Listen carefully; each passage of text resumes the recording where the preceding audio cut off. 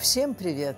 Меня зовут Дина Яковлевна, и я продолжаю знакомить всех современных бабушек и дедушек с компьютером и его возможностями. Сегодня я научу вас пользоваться встроенной справкой на компьютере. Она создана, чтобы помочь вам узнать возможности программы и решать проблемы самостоятельно. Получить доступ к встроенной помощи легко. Например, Photoshop имеет меню «Справка» с разнообразием вариантов, некоторые из которых просто ссылки на страницу поддержки, и открываются они в вашем браузере, в то время как другие варианты открываются внутри самой программы. В некоторых программах имеется кнопка «Справки», которая как правило, находится в верхнем правом углу окна. К примеру, Microsoft Office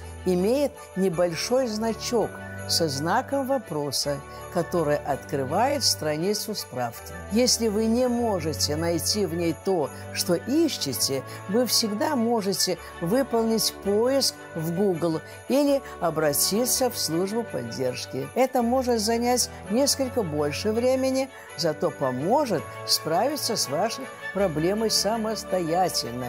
Уверена, у вас получится. А на сегодня все. До встречи в онлайне. С вами была Дина Яковлевна, бабушка в сети.